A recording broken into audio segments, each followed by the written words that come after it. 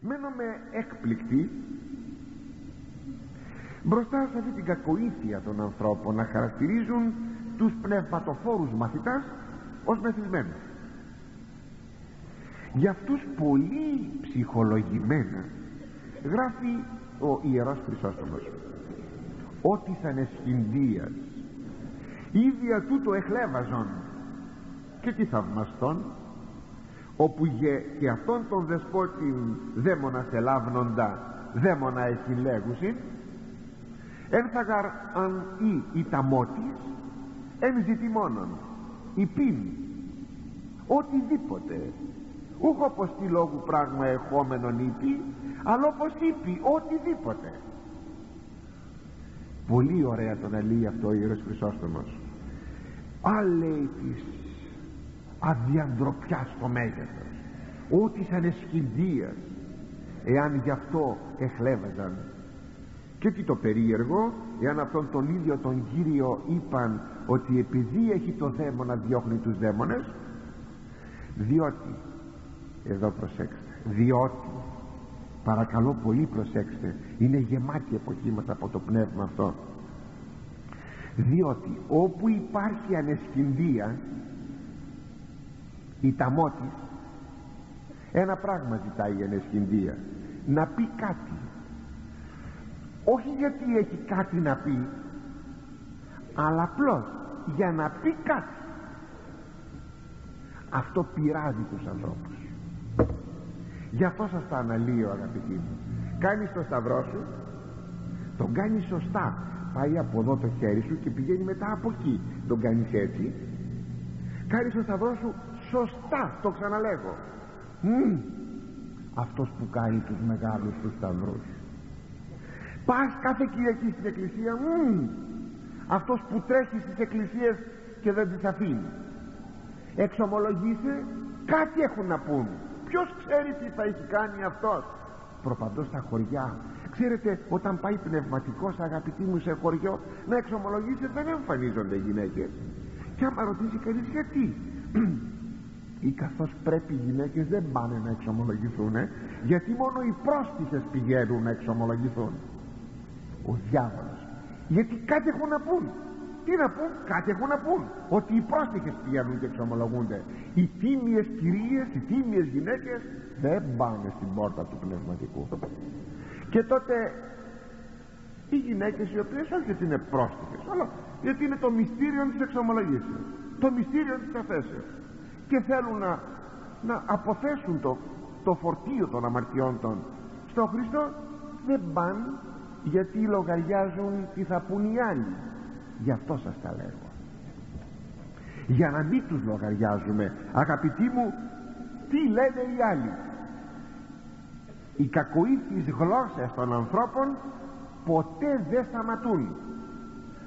Γι' αυτό εμείς θα πράττουμε το σωστό και θα διαφορούμε για ό,τι ανόητες και κακοήθεις ε, κρίσεις εξαπολύουν οι άνθρωποι αυτοί. Σας ξαναλέγω έτσι μόνο και μόνο για να πούν να δημιουργήσουν αντίδραση να δημιουργήσουν κατάσταση. Έτσι δεν υπάρχει λόγος. Αν ερωτήσετε γιατί ο διάβολος πειράζει τους ανθρώπους έχει λόγους. Έχει τίποτα να κερδίσει; Όχι έτσι έτσι γιατί έτσι δηλαδή δεν υπάρχει λογική. Στον διάβολο ένα από τα τρία στοιχεία είναι και αυτό. Δεν υπάρχει λογική. Και στους κακοήθεις ανθρώπους δεν υπάρχει λογική. Γιατί λες αυτά εναντίον των ανθρώπων; Έτσι μα εξήγησε. Έτσι. Έτσι μ' αρέσει. Έτσι θέλω.